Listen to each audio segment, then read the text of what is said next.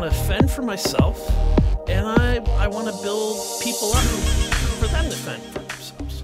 Hey everybody, I am Clark Fredericks, the host of the Free Like Me podcast. I am also the coach in the Free Like Me coaching program I've developed to take people with unresolved sexual abuse and get them off of Hell Island and onto Heaven Island, where we all want to reside. I ask all of you when you watch these uh, podcasts to hit the subscribe button so that I can increase my followers and continue to get amazing guests. Today's guest is Father Robert Griner of a priest at Grace Church in Madison, New Jersey, and also the spiritual advisor at Alina Lodge, a substance abuse center in Blairstown, New Jersey. Uh, it's going to be an amazing show. Let's find out why he's here and what we're going to talk about.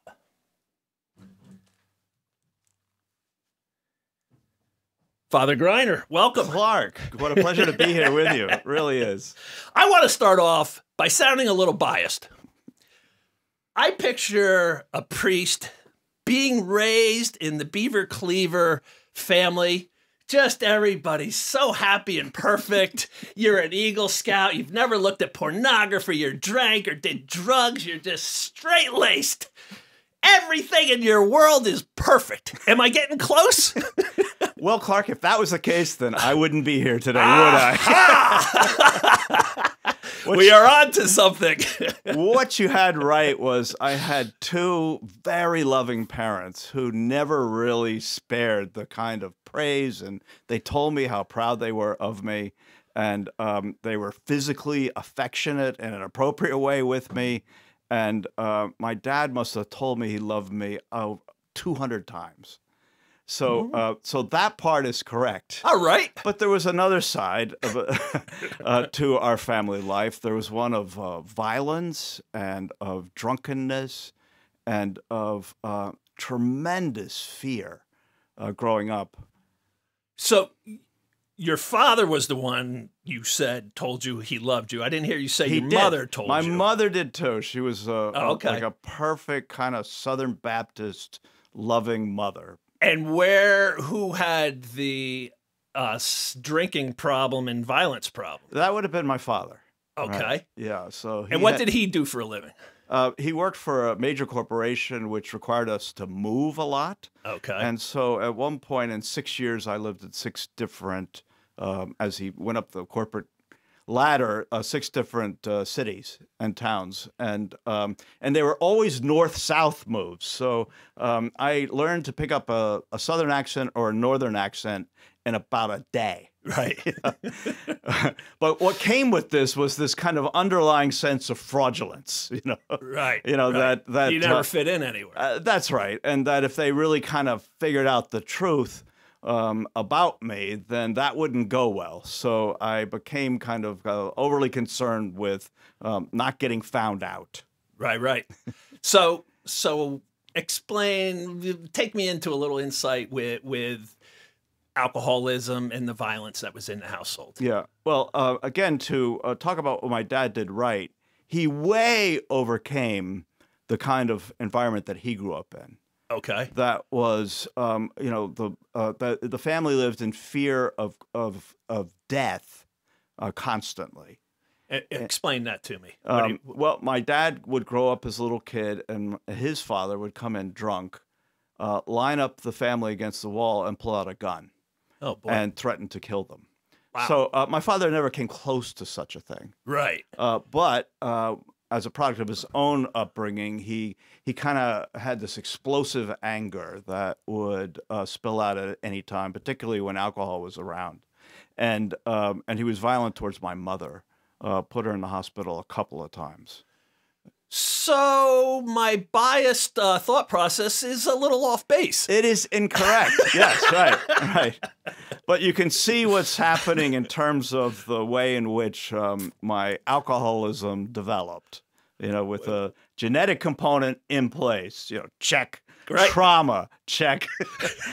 a sense of uh, fraudulence, got that one too. Yeah, you know? yeah, yeah. so it was just a matter of time before I put the sort of magic elixir into me, and the angels sang. You Oh, know, boy. I had the You- sense of of great relief and like I can breathe now. I found that I I had that same exact feeling the first time I did cocaine. I Right. was like the angle the angels sang, all my insecurities just pooh, I felt secure and strong. And then as anything that makes you feel that good as alcohol did for you and coke did for me, it starts to get its claws in you. And then all of a sudden it's uh, not this little magical thing anymore. It, But before we get to that, I want let, us not let's not fast forward to your destruction yet. let's not. we have plenty of time to hear about your destruction. yeah. yeah. So, take me back. Uh, you know how was how was your high school years? Did you fit it? When were you doing all this moving six years in a row? What Uh, age were we talking? Fortunately for me, the last move as a family was seventh grade for me. Okay, And it was back to a community that I had previously lived in in Weston, Connecticut. Um, and um, so, uh, the, you know, moving in high school years is a lot uh, rougher. And um, but it was in that time that I started doing a lot of drugs um, to deal with what was inside of me. Yeah, I was a precocious child. I did uh, LSD in seventh grade. really? I was ahead of the pack. Yeah. On my road to becoming a, a priest. I, I think when I got up to the plate and I took a swing, I did not hit a home run on what I, uh, I envisioned for your life. You were way off. I about- struck out That's right. miserably. exactly. exactly. And um, so, um, you know, you so- know what that does, though? It makes you relatable. yes, right. It does. I have a lot of friends who definitely relate to my background uh, Really? nowadays. Yeah. and yeah. and just from that, from the turmoil of those development years, like you just is that what when you like seventh grade. Like seventh grade, I started smoking weed. So Right. seventh grade, you took the jump to LSD. What what like I I smoked weed to to put the trauma of the sexual abuse I had just suffered down. right. I needed something to, you know, block block my mind. What were you trying to block? Well, Just um, uh, that violence, that unpredictability. Absolutely, just that that real uh, innate fear, you know, that um, something's going down that I can't handle, that it's all too much, that it's. Um, I, I I know a guy who referred to it as the overwhelm, you know, that that what I was being asked to do in life was beyond my capacity to do it, and uh, and when I uh, sort of put substances in, in me, that feeling subsided, and it was like, okay, I'm all right you know, for a while. right. Yeah, yeah, Did all right. Your your father's father basically was a maniac. correct. Did you have a relationship with your grandfather? Was he Yeah. in your world at all? Did Yeah, he and- and pull he- any of this crap with you? Uh, no, he uh, lived in South Georgia, and um, where you know the the kind of culture promotes uh, presenting a public face, Right. as many cultures do, Right. um, and then having a sort of different one on the inside. Once the door closes, Right, right, something right. else is going on. And uh, you know, so it was that kind of environment that I uh, uh, grew up in. But he too was warm and affectionate and uh, loving towards me. Could have his and I never had a, uh bad experience with him. Ironically, it's sort of you know like my life became full circle, but ironically, he finally got sober at, Really? um, in his late sixties, early seventies. This is your grandfather. He did, Right. and um, and he announced it in front of his Southern Baptist church in Lenox, Georgia, where he came clean um, Wow. about the sinfulness of his life, and so he died a sober man. wow. And how about your father? Can you Um, did he do the same? Uh, something like that. It's a little more complicated with him, but um, yeah, he. Uh, I hadn't seen him drink in decades Oh. when he died too. So. Okay. yeah. Wow. So seventh grade, we start doing LSD, whatever other drugs, uh, drinking, obviously, probably, Mm-hmm. I would assume. Yes. And, and did you feel like you fit in in high school? Were you doing Were you doing drugs to try to fit in? Well, there was a kind of a double agenda on my part. Uh, one was if everybody is here, I was trying to find a way to go here, you know, to kind of go above it all, uh, you know, and that is consistent uh, to this day. I still was trying to go above it all, you know. So I, I I wanted to kind of like you know be the leader of the pack, and in some ways I was, but at the same time there was that underlying sense of, of tremendous uh, insecurity and uh, that fear of being found out. So these were kind of competing agendas that were kind of ripping me apart, Right. you know. And um, it all came to a, um, a, a kind of a head when um, the neighbors in my community in the, that I lived in, they went on uh, vacation, and I knew exactly where their key was. And um, I don't know, we kind of saw it, me and my buddies, as house sitting. Uh, but the local police uh, saw it as breaking and entering. And, Oh, uh, really? yeah, right. yeah. And this led to sort of court action when I was 15 All right. and uh, eventually getting into a, uh, a, a drug treatment center. Really? Uh, yeah, up in Norwalk, Connecticut. And uh, my first exposure to recovery. wow. Yeah. I, I I am almost at a loss of words Yeah. right now. yeah. right. You you are shattering the myth I had uh, of uh, who becomes a priest. I was a precocious child. the other component was, you know, a way that I sort of dealt with my anxiety and insecurity was through academics. I um, sort of did well in school and increasingly better when I got uh, drugs out of the picture. right. And, um, you know, I ended up um, uh, studying at Oxford University in, in England. And there my whole world opened up to this this new way of approaching God called Anglicanism or, you know, the Church of England. All right. Be, before we get to that, was was religion a part of your family? Very, very much so. Really? Yeah, Okay. right. Quite religious, Southern Baptist. And my parents were quite skilled. They were able to find a Southern Baptist church in Connecticut where people did not talk funny. right. They talked normal, Right, and we ate normal food like collards and grits and Right, all this. And, and it was their way of kind of um, you know overcoming their sense of being uh, Southern frauds in a, a, a Yankee environment. Right, so, yeah. right. And um, and that was where I was really introduced to this kind of passionate, heartfelt connection to Jesus Christ which has endured through through all of these trials and tribulations and triumphs and failures and Right. you know this uh, connection with jesus never never left me um, and so that was the great gift of that tradition to me um, you know the that kind of um, inspirational emotional connection to a to a, And you a- felt the connection? absolutely yeah And people will say, I, I never feel a connection or, you know, that was it's not all it's all fairy tale stuff. That was not me. I, I would look up at the sky when I was four and knew that something out there loved me and made me and never would let go of me. That was, uh, you know, a consistent experience of presence, you know, all these years, and it's even more intense today. so I, you know, So- after you after you get knocked down to your knees, uh, you that's know, uh, it, that's what that's what- happens. yeah, exactly. Yeah, But, I, I, uh, I went through life after you know being abused and raped, and uh, I, you know back then the Episcopal. I grew up in an Episcopal church, right. and, and back then the minister was like, "God is a sovereign God. You know, you do good, good things will happen to you. You step out of line, you incur God's wrath." So, Right. so at 12 years old, when I'm having an animal rape me, you know, I'm like, what the heck could I have done to, to incur God's wrath that this is happening? Yep. And I'm like, screw this God stuff. Right. It, it served me no purpose. Absolutely. I can eh, s- I could see that. And, and that's what abuse does. It's a soul killer. right. Because at that young age, that's how you know you see God as this, you know, like. But but then we're making God out to be a superhero. So like the train's ready to derail, and God stops it from derailing. Right. And the car crash, God stops the car crash, or or the, the tsunami, and God makes the wave calm down. That's that's what we're looking. People will be like when they hear my story, they're like, "Well, that's just proof that there is no God." Right. That, but then so we're we're taking free will out of the equation Exactly. and making God a superhero to stop all these events from ever happening. exactly. And then why even exist?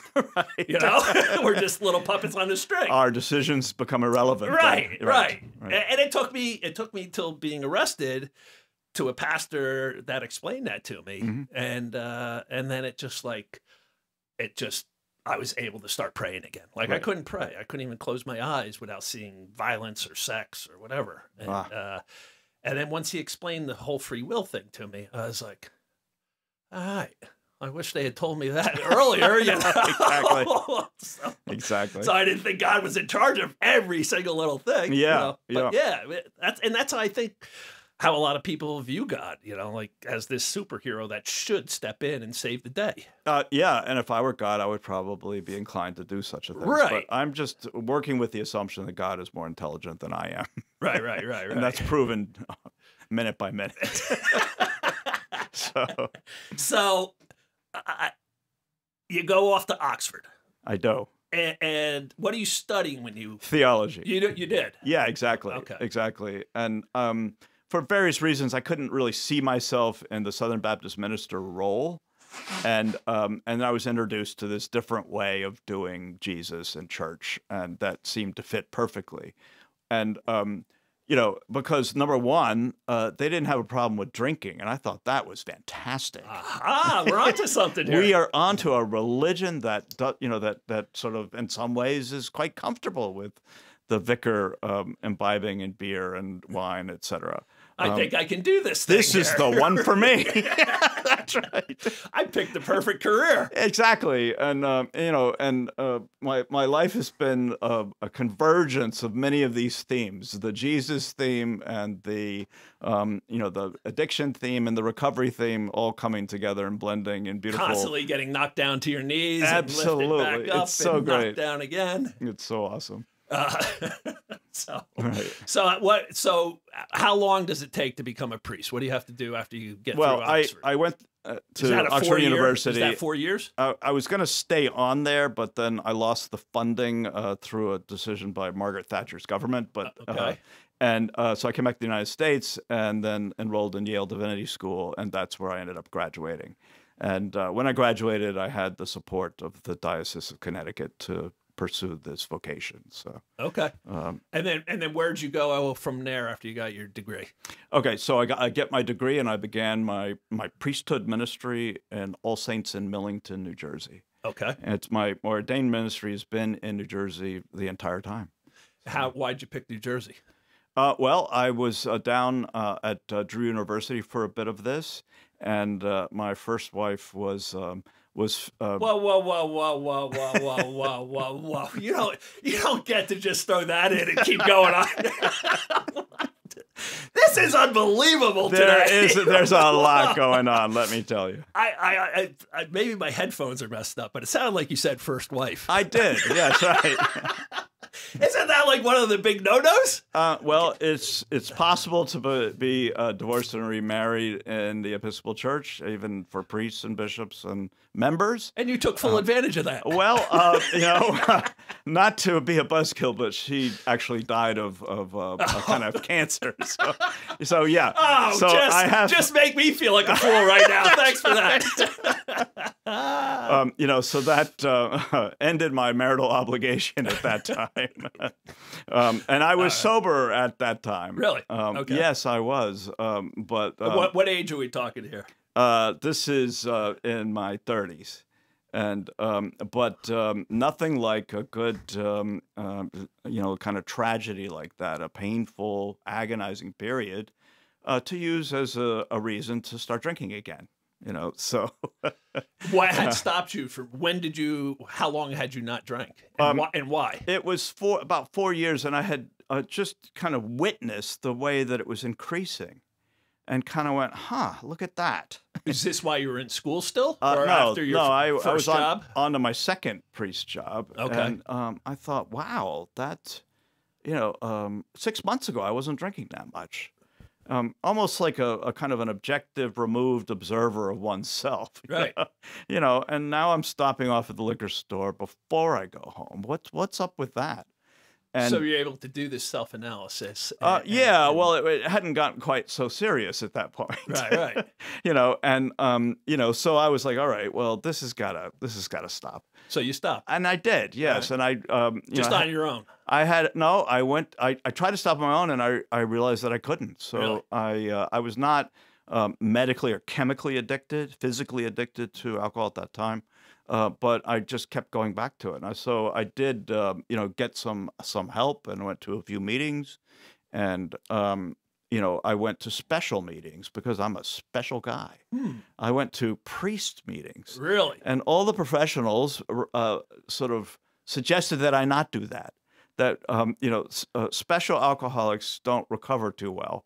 Uh, but I didn't listen. I knew better, and I went to my priest meeting, and um, you know, and even And, and what's a priest meeting? This is, Explain- uh, it's a- explain a- a, little more. it's Let a- us inside the it's a re- society. a here. recovery meeting for uh, a priest with a, sub, a priest with a substance abuse problem. okay. Uh, certain professions have them. Um, you know, airline pilots have meetings, and police and surgeons, and you know, because it's kind of um, difficult professionally for a surgeon, for instance, to announce at a at a recovery meeting that they I think that would be a career killer. uh, might be might be. So they have their own ways to recover, and, Right, right. and that's a wonderful wonderful thing. Yeah. Um, but what, when I was in that sort of special status, um, I was less open to the suggestions of others. You know, like I know better. I'm smart. I got this. I, you know, like I'm disciplined. Uh, I'm strong, and um, and that was very much was not the case with addictive illness. right, right, right. you know, so so you know, it's um, it's a it's a disease you know that I uh, look at every day, particularly in my work and in my uh, you know participation, sponsoring other people in recovery, um, of minimization more than denial. From my observation, that we think it's oh, it's this little cuddly ball that I play with, my addiction, and and it's not. It's gigantic, you know. Right. Like, and over time, that became very apparent to me. Yeah, I, this I was had huge. Uh, I had you know one of my biker friends after I got out of prison uh, say to me, you know, uh, now that all your your your molestation is out in the open and your healing and your pains out there for the world to see, don't you think you could have a couple beers with us? Right.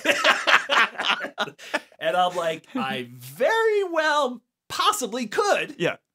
Or those couple beers will lead to a glass of red wine. And when I have red wine, a line of cocaine goes perfect with Ab- red wine. And then I'm off to the races again. This is this is an alcoholic mind at work. You know, you know the reason that you started using these substances is no longer sort of presenting itself, no longer so empowering. You know, like powerful over you. so I should be So you should to. be able to do that. But meanwhile, addiction has taken on a life of itself. Right. So its origin almost doesn't matter at that point. That that that was my experience, you know. So Yeah. you know, oh, if I get do enough therapy and, and overcome the the childhood, you know, issues that I had, then uh, an occasional like you know a glass of wine should be fine. Right. I recognize that as the voice. I have of to my. do communion for crying out Yeah. loud. What's yeah, what, what? that's a that's a different story entirely. But uh, yeah, so uh, you know that doesn't work because uh, addiction is powerful and it's big and it takes people down.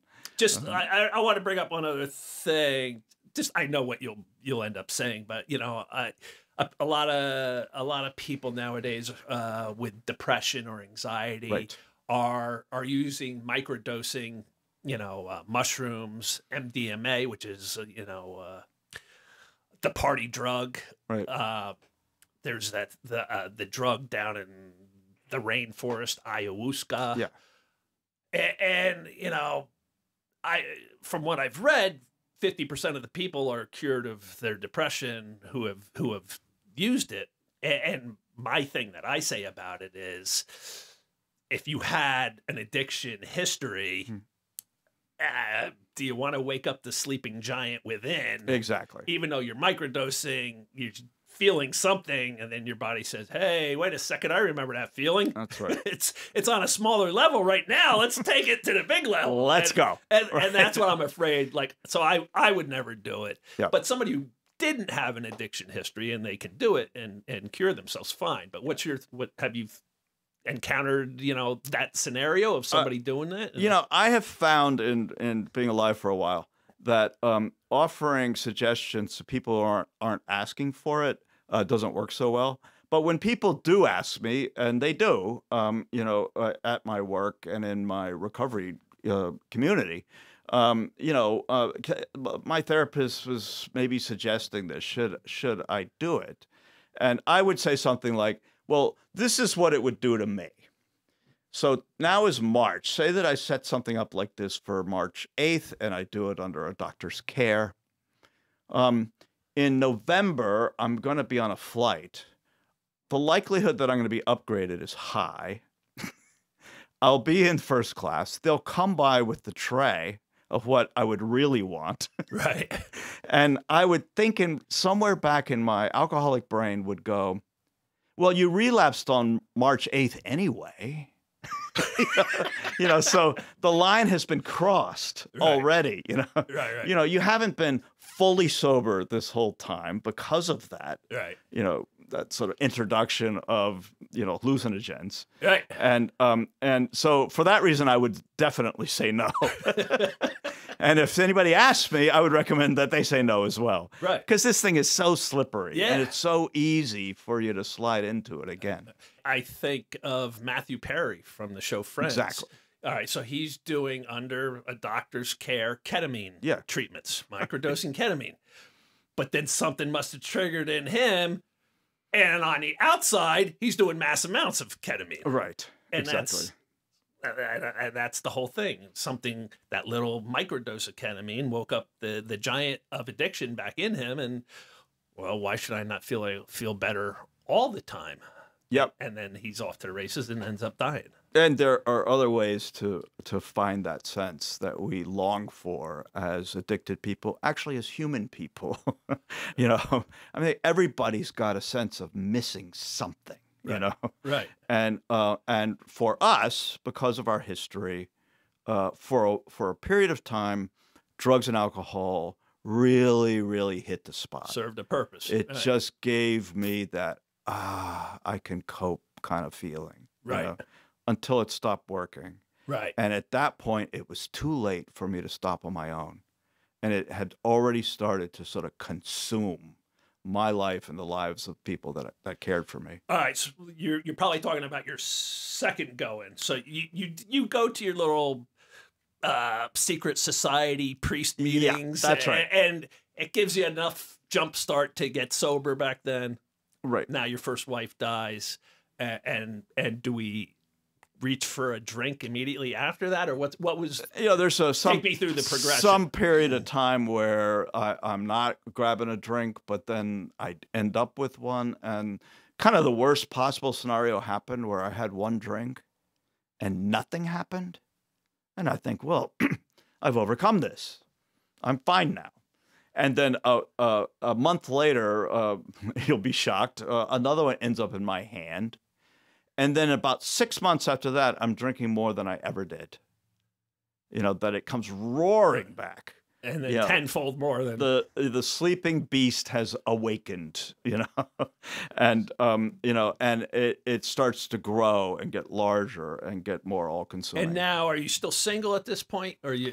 I, I know you got married again. So I where did. are we? I got your- yeah. That's uh, you know, it's sort of like How did you meet your second wife? Uh, I met her in church. Okay. Yeah, right. Right, yeah. And she met me as a you know a person um, who was you know managing alcohol at the time. so you weren't sober when you met her. Uh, not entirely, no. All right. So Yeah. this is after the first wife had died. You Right. Having a drink. Yeah, and here but and it- there, and- you meet your second wife. Right. And then I'm kind of trying to stop for a period of time, you know, that in that kind of awful state of uh, trying to control the uncontrollable, you know. And, uh, and did you have any of the anger issues that your father and grandfather, when you drank, were you a happy little drunk, or were you? Did Um, you have a little anger side to you? I, I, I could. Uh, I was not, uh, thanks be to God, violent. right.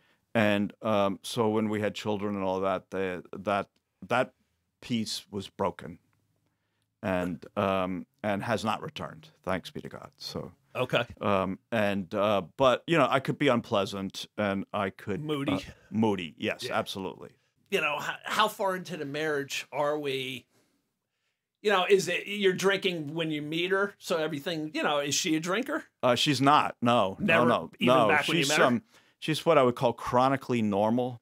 So she is what I described in the beginning. That's right. that's, right. Yeah, she had an excellent upbringing. Maybe she should have became the priest. That's right. exactly.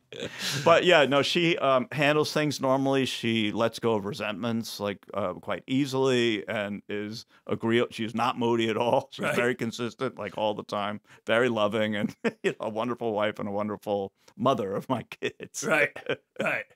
And is is she like as as the marriage is going on and your drinking's increasing, is she confronting you? Is she, She like, is. what is going on here? She is, and it's becoming more and uh, you know powerful and more you know in control of me. Um, so my most sort of cringeworthy uh, remembrances are my drunken denials of drinking to her. Right. I'm not drinking. That's right. How dare you? right. How dare you challenge? You know, I'm I, I'm just trying to be a, a, a loving dad and and priest, and uh, I'm under a lot of pressure, bro. That is correct. You know, and uh, you know, if you would just leave me alone, I'll be fine. right. You know, so I I'm denying it. I'm protecting this this sort of like parasite that has latched onto me because uh, on the inside it feels like if I take the parasite away, I will not survive. You know, that's I, I, I would never have that thought, but that's what it feels like for me to be an alcoholic in my active addiction. That I, I can't Is um, the parasite you're talking about your pain, or is the parasite your addiction? addiction. Okay. addiction and it feeds off of pain it loves pain because Right. i you know i understand you better than anybody alcohol says to me Right. you know Right. and i would i would do these heroic efforts i would stop for a few weeks i would stop for a month you know and um and when when uh, you know it became unbearable being me without this thing um and i i picked it up again the, and then the- every the time you pick it up, it comes It- but the- back. the sense of it is, I mean, this is what's so hard for normal people to understand us. you Right. know? The sense was like, oh, baby, where you been? You know, I've missed you so much. You Right. know, nobody gets you like I do. Right. You know, Right. and there's this sense of, you know, like of extreme euphoria. It's a spiritual experience Yeah. of being united to the, with the universe, you know, and able to kind of, um, you know, the word ecstasy in Greek, ekstaeo, it means literally to stand outside yourself. You know, like what a joyful kind of thing for somebody with a trauma profile to get outside of my own skin Right. you know, to be freed from the the agony of being me. You know, that's hard to compete with. You know, uh, when people are going, well, why don't you just think positive thoughts or whatever, you know, or just say no to the alcohol? It's it's insinuated itself at a, at a very kind of core spiritual level, and what I was seeking from it was a spiritual solution to my life. I really was, and I uh, I never stopped praying and I never stopped functioning, although you know under the influence um, as a, as a priest. Um, Did you do any services half shitted up? uh, To put it mildly. uh, towards the end, it was um, I could not function without without alcohol in me.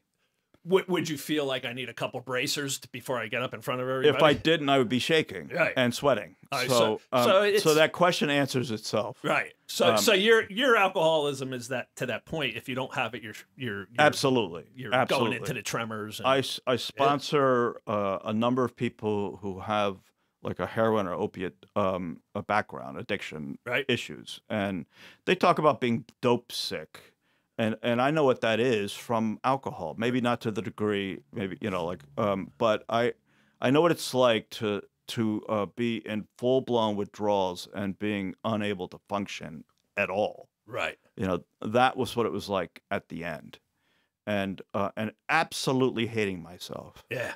for um, how this had happened and how uh, profoundly I had um, let people down in my church and in my family. When Uh, I when I first uh you know, I never read the Bible until I was locked up. And when I first read Romans chapter 7, and Paul's like, I hate what I do. The things I want to do, I cannot do. I keep doing the thing I hate. The very like, thing I don't. I know what that is. like, yeah, Yes. I'm Yeah. like, he nailed it. He nailed my that is addiction. it. That is you it know? exactly. And um, and you know, and I would get together these, like I said, a week or whatever. You know, shaking, sick, and then I would, and it, and I just felt so crushed by it, and I I would inevitably come to the conclusion, if this is what sober is, I can't do it. It's too hard. It's too painful. Um, you know, because I had no coping mechanisms. The alcohol had hijacked them all Yeah. You Same know, for- the brain's brain's very efficient. The brain goes, "Oh, I see you're not using these self-soothing tissues. We'll appropriate them uh, over here for another another use." you know, so then you stop, and it's just like red alert. You know, Right. how am I supposed to deal with anything? And I was pretty cranky for when I finally got sober in 2008. um, um, you know, I was pretty cranky for a long period of time. So like is is all right. So you you're drinking this to the point you know where you got tremors and you're sweating. and- Absolutely. And, and you quit here and there, and, and you're just like I you know this sober thing's not for me. I can't do it. yeah. What's going on in, in the home life? Is your wife you know like Rob? What the hell, bro? Yeah, ex- exactly, exactly. I mean, she's you know she thank thank God she sort of sought outside help and was kind of doing some kind of Al-Anon type Al-Anon of stuff. type Yeah. of stuff. So she sort of backed off and said, all right, whatever, you know. But it was getting frightening. Um, and uh, my kids were two and four when I got sober. Wow. You All know, right. she married a real beauty here. You know, and uh, she, did she ever give you an ultimatum? Um, you know, those are discouraged. Uh, and you know, but it was pretty clear that I was on very thin ice. Right. And um, and of course, you know, so uh, so again, this is the way it would work. Um, you know, the signs of how how absolutely dysfunctional this all is were were, were sort of piling up, and the evidence was mounting. Um, and then I I would get to to this like temporary sweet spot of intoxication, and I would go, oh, they love me. You know, they think I'm funny. You know, this this way that it justifies itself Right. You know like um you know they uh, they all are on my side you know and and and then i would come to my senses and realize just how absolutely untenable this whole thing was and how it just was getting worse and worse and worse. And and, and finally you know the whole system of family and church just couldn't take it any, they couldn't watch me die. And so they sort of intervened. Right. and uh, Yeah, I mean, when I was using and you know at my height, Yeah. I thought I had everybody fooled. I thought I was like, uh, you know, I'm mixing cocaine with with heroin and Right. pain pills and Xanax and bottles of vodka, and I'm like, man, I got this balance perfect. Yeah. Like it is. That's right. Nobody knows a thing. And I I'm charming too. yes, I'm, fun to be around. Meanwhile, everybody's talking. What the hell is going on with Clark? Yeah, that's right. That's right. They're all ter- you know, and um, you know, and, and I thought that primarily they were when I got sober. I thought that they were ashamed because I was deeply ashamed, but they that wasn't it. They were scared because and they felt helpless. They didn't know what to do. And um, and that was their experience. They were they were sad, scared, and helpless. And who's they? uh, church and family, you know, um, and it was different than I had thought.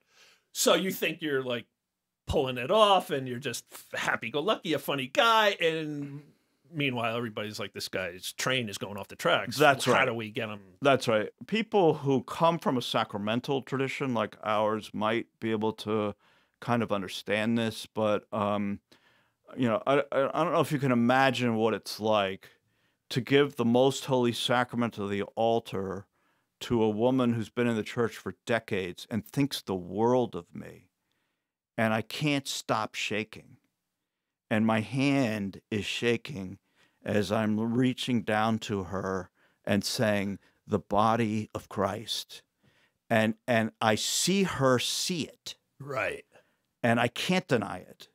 She knows that I'm shaking and she knows why and I'm absolutely hating myself. Mm.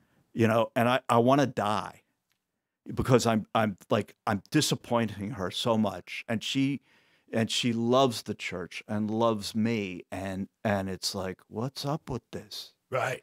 Um, and Wow. it's just devastating. That's you know? powerful. Like, Yeah. Holy Spirit. That's a, that's Yeah. a, I'm, I'm picturing that scene. Yeah, Uh, man. right, right. I mean, for myself, I had that exact moment, but in QuickChek. yeah, Right. I am all jammed up on coke, and I go to pay for something, and I'm like I'm I'm like I'm like holding my wrist when Right, I, like, right. to give her the money because I can't like because I'm so jammed up. That's right. You realize that you're not pulling it off. Right.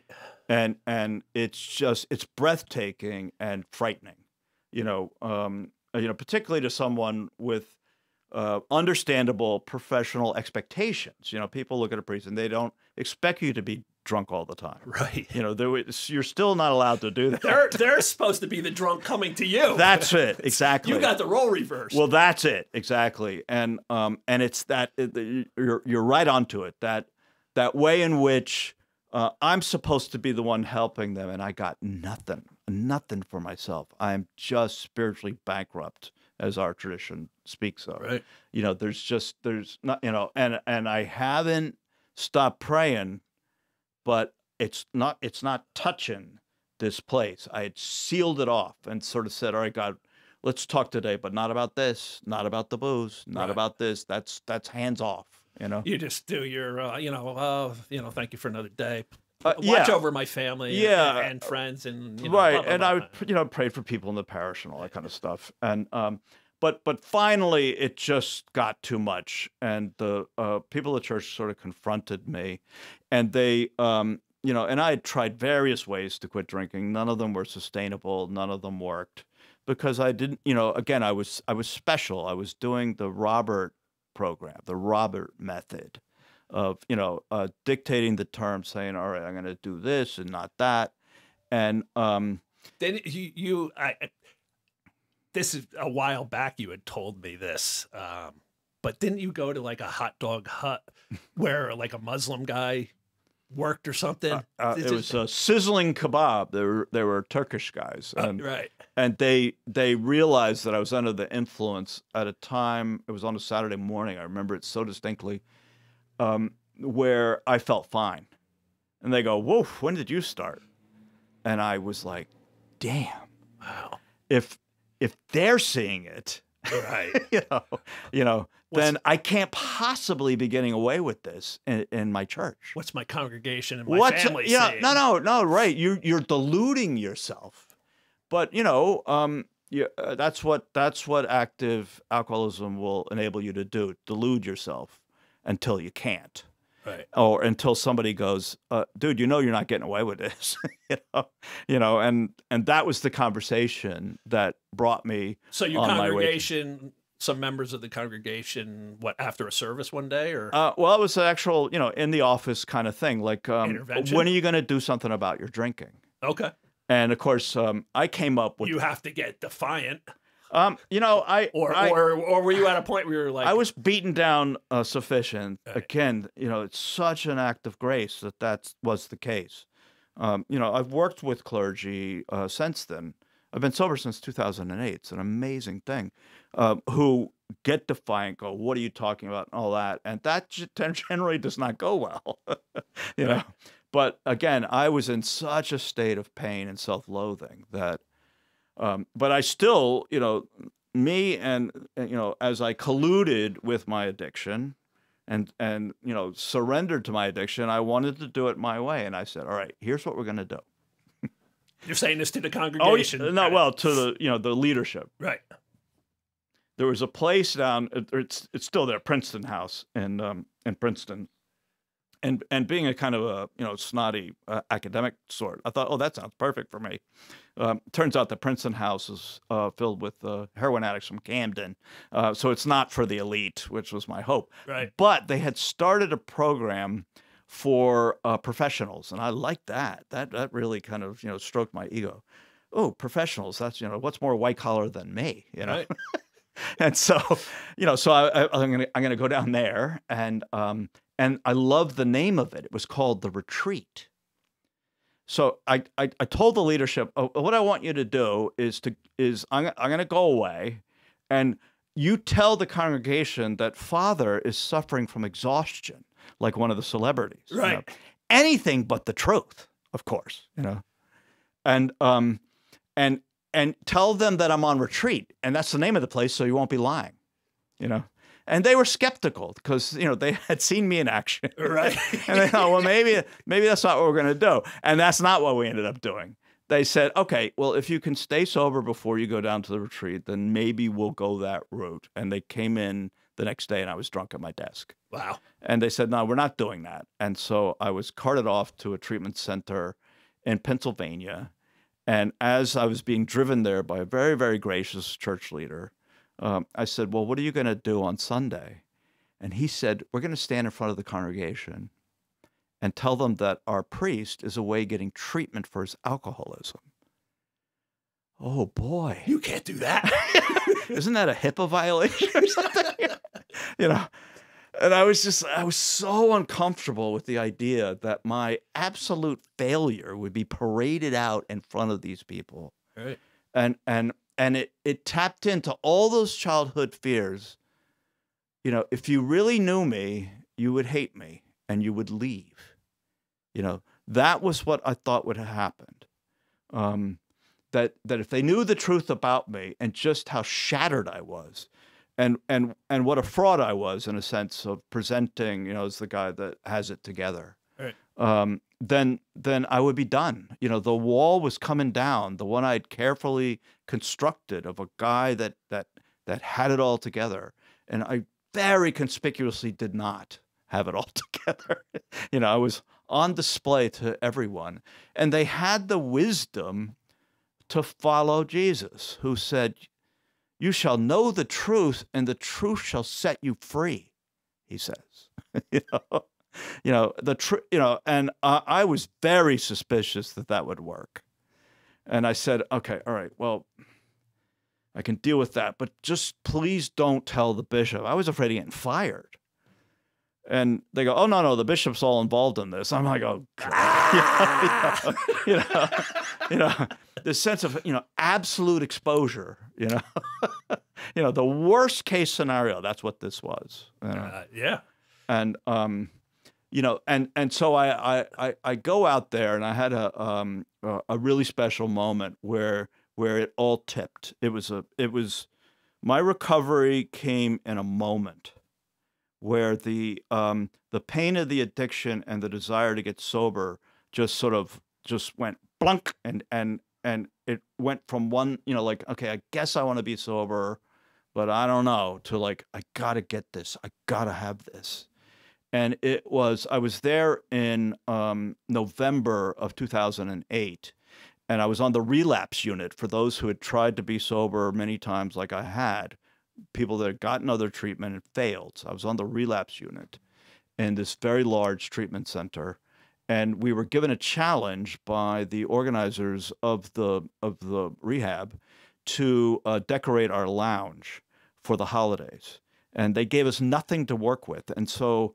you know we threw ourselves completely into this because we were like the losers of the rehab. You know we were relapse.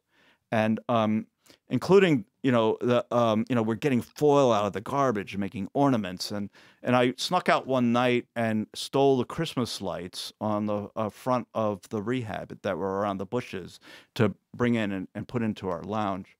And um I mean think about that for a moment. You know I'm a priest on the relapse unit of a alcohol treatment center stealing Christmas lights you know Sounds perfectly normal to me. you know, I mean, uh, like uh, uh, there's something wrong here, you know. And um, so we decorated our lounge. It looked spectacular. It was it was just absolutely gorgeous. But when the judges were going to come by right before dinner um, to see which lounge was decorated the best in a competition, uh, we started to get nervous. So we sent a scout out to check out the other lounges, and um, and they went out to intermediate and uh, came back and said, I don't know if we're going to win this. Intermediate's got it going on. And I'm in that brittle stage of being like sober for like two weeks. And I'm just like, Ugh. what do they got to compete with this glory that we've created here? Well, what they had was this, um, this guy who smoked his cocaine from Philadelphia, and his name was uh, David or Dave and he would he looked like a jockey. He was like four foot eleven and weighed like eighty five pounds, and they had they had taken his clothes off and take and gotten a sheet. Well, the way the scout put it, he goes, "I don't know, man. Intermediate's got it going on." And they, um, I said, "What do they got?" And they said, "They got crackhead Dave dressed up like the baby Jesus in the manger." you, know? you know, they had they had made swaddling clothes for crackhead Dave, and made a and made a manger out of a cardboard box and placed him delicately in the manger. He was the baby Jesus, you know. And and I saw no humor in that whatsoever. you know. And it was in that moment where I said, "What what has happened to my life?" You know, I'm the priest of a prominent parish. I went to, to Yale and Oxford. Why do I know a guy named Crackhead Dave? why, why is he being baby Jesus? and why is he in my life? You know, you know, you know, and that was the moment. You know, I said, I've got to, I've got to throw my entire self into this. You know, and I did, and I did. You know, I, I, I said, whatever they tell me to do, I will do. That was the moment. It was. It was. It was like this has got to stop. You know, I, I, I've thought that I had this. I in no way have this. I need help from other people. You know, mm-hmm. you know, and, and That was your surrender moment. it was absolutely. It was my moment of clarity in that and that and that movement of of letting go of I know I'm smart. I knew nothing, and I and I knew I knew nothing. Um, and I I decided to trust people in recovery, especially. I had done tried to do the psychiatric route and all that kind of stuff. What I needed was people like me, who um, who could laugh about crackhead Dave stories. you know, who who could kind of get the shenanigans that accompanies this disease, um, and who could tell me what to do. You know, we'll see you tomorrow night, right? Yes. Somehow I was given the grace to say yes to what they recommended. I didn't like a lot of it, but I suspended for a moment my hypercritical, judgmental. I thought their spirituality was was really unformed, and I had lots of recommendations how a uh, my recovery community could re- improve their spirituality. They were reluctant to embrace my uh, wisdom. Go you figure. know. you know, six weeks sober. you Right. know? you know, so that was that was the tipping point. That's when it changed. And the the next big one was when I came back to my parish, and um. And so what did how long you did a 30 day? I did a 30 longer? day. That's right, exactly. And and I came back, and I uh, again it, for me it was the worst case scenario. Every single person knew Where you were. where I was, happened. and what had happened to me. And now I was back. So the veil is removed. That's right. And so I get into the procession, you know, to go into the church, and I'm singing the hymn, going to my magnificent throne. And I'm thinking, everybody knows, everybody knows, everybody knows, everybody. It would have been easier to do that mass naked. It really would have been, you know, you know, to be sort of fully exposed. Right. Yeah. And there was a point in the Vulnerable. Oh, And completely. addicts hate vulnerability. Yeah, absolutely. And there was a point mm. in the service where they just erupted in applause. And and I had no expectation of anything like that. I thought the opposite would take place.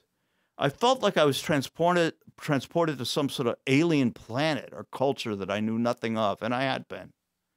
Um, it was the land of grace, you know, where um, I love the old creaky theological definition.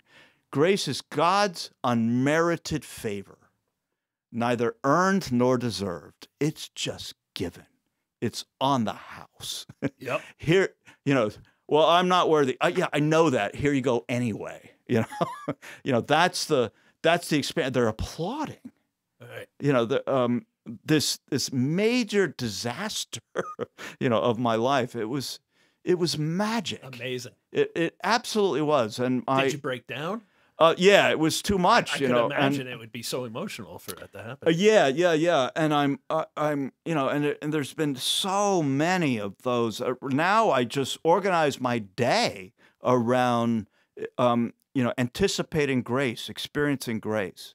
You know, I'm driving here to talk to you, and I, I love you, and we connect. We've connected many times over the years, and uh, you really touch my soul and inspire me. And I'm going, oh, this is this is going to be great, you know. And the next thing I do, I'm looking for the same thing. I've got like I'm like a heat-seeking mi- missile. The same way I looked for um, liquor stores, I now look for the grace movement in people's lives, and I see it all the time in the church.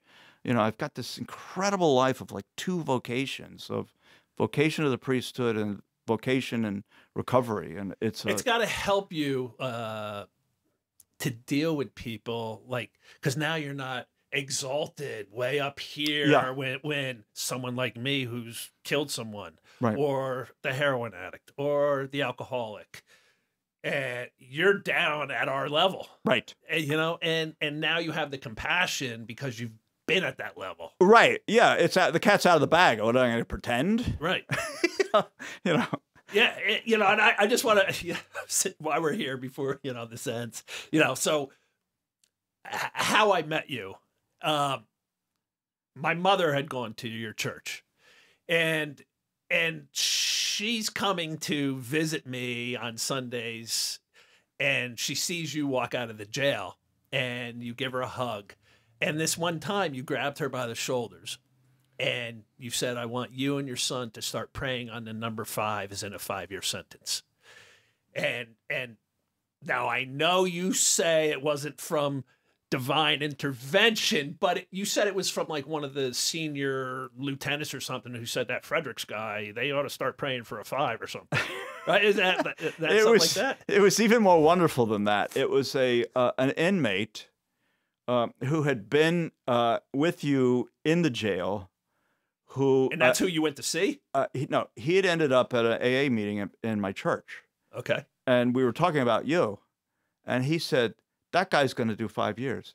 And this guy was, uh, uh, you know, the neck tat, uh, you know, the whole the whole Right. bit. You know, he looked the part. Ah, see, I never knew that. Yep. I thought it was from one that was the, the, back that was the backstory and he said five so i said to your mother um i think he's going to do five years from what i hear and uh, and she goes really and i said well let's pray for that but it was a guy and um i don't think he it, it- from what i know his um his sobriety was not sustained but Right. I'll, I'll leave it at that so so my mother comes into the jail Yeah. that day. And she's like, I just saw Father Griner, you know, who, who's, you know, the head of the Christ Church I go to. And uh, he says we should pray on the number five. And I do the Macaulay Culkin thing, like, you know, oh, mom. I'm like, a five is not going to happen. you got to pick a number that's a little more realistic. i was thinking 20 That's that's what I had in my head, you know. Me too. like, Me she too. came in and said, "Let's do a 20. All right, and, and and she tells me, "I believe in God. I believe in miracles, and I want you to start believing." yeah You know, and I'm like, "All right." there we are So from that point forward, I start praying on a five. I meditate on a five, Right. A- and lo and behold, I go for sentencing. I get a five. all right Now, I come, I come. You were at you were at a lot of my uh, court hearings supporting my mother, right and so I go to her church to meet you to thank you for you know the five and and to thank you for supporting my mother. And you're like, hey, can you come in during the week for for a private visit? You know, just want to talk to you. I'm like, sure. So we walk into your office. I don't even know if you remember this, but you you shut your your doors Mhm. And you turn to me and I backhand you on your shoulder, and you're like, "What was that for?" yeah right and I go, "You couldn't tell my mother to pray for a three? I would have been out already." I remember that. right? Yeah. Right. And we had a good chuckle, and, know. and then That's that started. Uh, you know, that's how I met you. Yeah. backhanding you is how I met you. Yeah. Right. Exactly. Exactly. So. Yeah, right.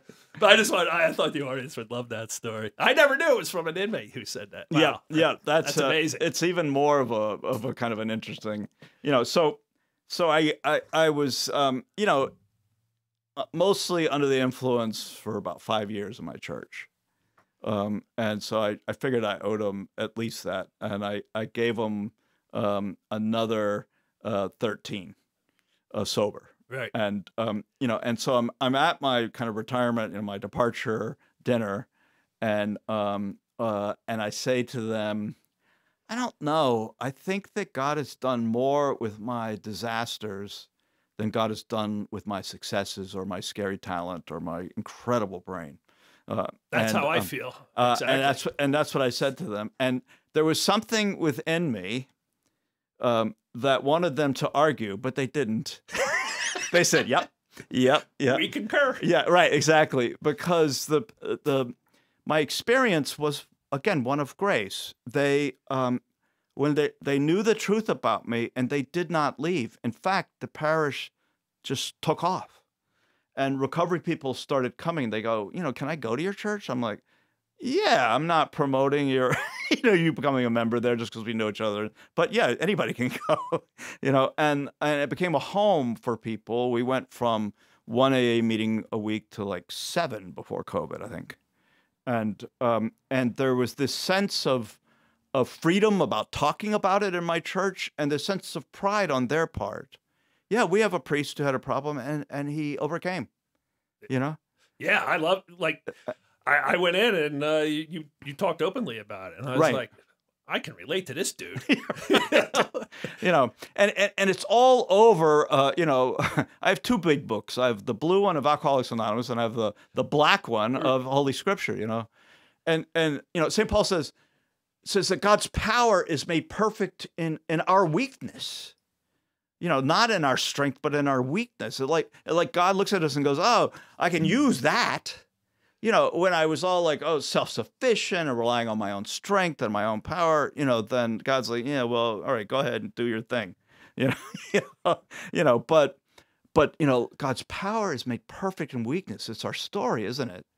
You know, the, saved by grace, so none of you can boast. uh, that's right, exactly, yeah, Yeah. uh, uh, uh, precisely, yeah. So, um, you know, that's been, uh, you know, it's opened up everything, and and I have to tell you honestly, um, you know, and lest it seems like boasting, it was just really a product of getting out of my own way and following this path, the Jesus path and the recovery path. Um, I have a sense of, of like persistent joy in my life now that I didn't think was reasonable for a human being to experience. You know, and it's and it's been there since since I got sober. It has not left. you know, and you know, and things have not gone my way, and there's been some losses and pain and all that, but that has not. You know, this profound sense of just being okay. You know, the thing I wanted so much when I was little, the thing I would get glimpses of, you know, looking at the stars when I was five and the grass in Atlanta, you know, looking up and going, wow, you know, um, that's implanted there. I love being sober. It is the best thing that's ever happened to me. And I love to try to, you know, give this to other people and help them have those crackhead Dave moments where the thing shifts. Yeah. you know, Yeah, I mean, you know, I say too, like getting getting clean and sober doesn't mean your problems go away. No. But now you can you can deal with your problems on life's terms. right. Instead of like every little thing in the past when I was using, like any little thing felt like this giant Exactly. mountain I had to Right. overcome. So I need I need a bracer and I need a line to overcome this huge thing I got to face. And it wasn't huge at all Right. and I could have faced it easily, but uh, my my addiction's saying we gotta we'll face it together as a team. yeah, that goes well. Yeah, yeah, exactly. And um, and I don't even know what's good for me. This is the this is the insight. I don't trust my own self assessment, uh, because the worst thing you know in my drunken state that ever could have happened would would be that I was publicly exposed and humiliated for what a sham I had become. And that happened. That's what ha- it happened. The worst thing happened, and um, but it, and it turned out to be the best thing that happened. So so that that suspicion of my own ability to assess continues. I go, well, I don't know. Let's let's see what happens. Uh, this seems to be a you know kind of pretty painful and awful, but I don't know. I do not know. You know, I mean, because God has so often used those moments to show up You know, um, there's a there's a line in a praise hymn that I love so much, and it says, "I will joy in every battle because because I know that's where you'll be." You know, it's like a prayer. I know you're going to show up, so bring it on. I, I- let's go. Yeah. You know, Yeah, you know, you being outed, like thinking that's the worst thing that could have possibly happened. I guarded, I guarded my secret of abuse like I had this, like bag of diamonds inside of me. Like nobody's gonna find out about this. Right. And the worst thing that could have, in my mind, uh, that I envisioned is that that would be, you know, released to the world.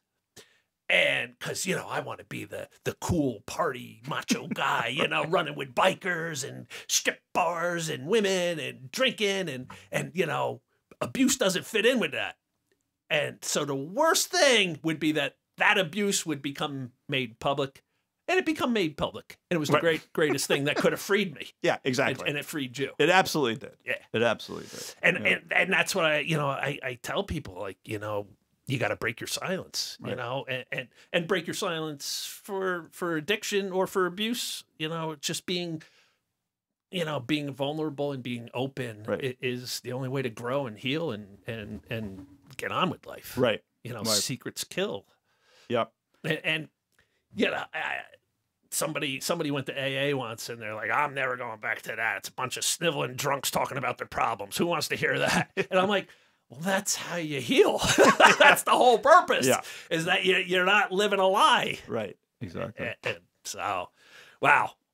Uh, I wasn't really expecting all that today.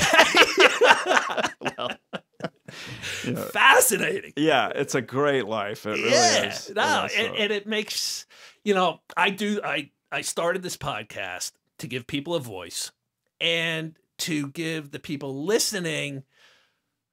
Oh, we all think we're alone with what we're dealing with. Mhm. Like, oh, nobody will understand this. Well, the, the priest is a is a mess. Everybody's a mess. Yeah. Like we're all Yeah. going through crap. Yep. And, Yeah. and so uh, that's why I want people to just be like, all right, he's a mess. Clark's a mess. They're doing all right. I, I guess I can get better and I can heal and I can get sober and my life doesn't have to be so bad. Yeah. And yeah. that's that's the whole point of this. Exactly. And, you know, whatever agony we went through to get here, we can see how it benefits other people. We can offer it to other people. And it does. People get hope, you know, to sort of see somebody that made it. And, um, you know, and we have that, that kind of like um, uh, authenticity about, about being alive and overcoming. So, I can't thank you enough for being here. my pleasure. Oh, it was really, fascinating. very- I- I mean- stuff. I, I laughed so much. My nose is running. My eyes are tearing. I can't wait for to get this camera to end so I can blow my nose. you had me dying. You got a great thing going on here, Clark. You oh really do. man, thanks, So, Robert. yeah, it, was thanks. awesome. Thanks for Very being good. here. Yeah, my pleasure. Well, everybody, that was another episode of Free Like Me. This was amazing. You are not alone with what you're facing in life. We are all dealing with crap. So stop self destructing, start healing, reach out to me, Free Like Me coaching program, and please hit the subscribe button when you listen to this episode. See you next week. Peace.